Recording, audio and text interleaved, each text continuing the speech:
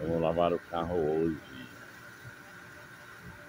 Nessa semana eu trabalhei 24 horas pela Uber e ganhei em média 13 reais por viagem.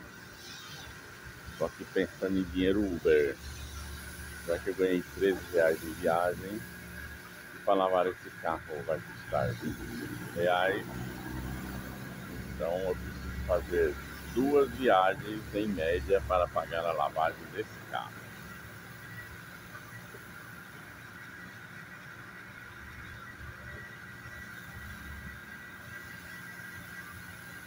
Vocês concordam?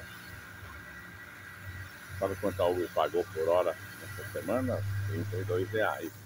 Somente 32 reais. Sim, Vamos descer o carro ali para ele passar a cera. Vamos lá.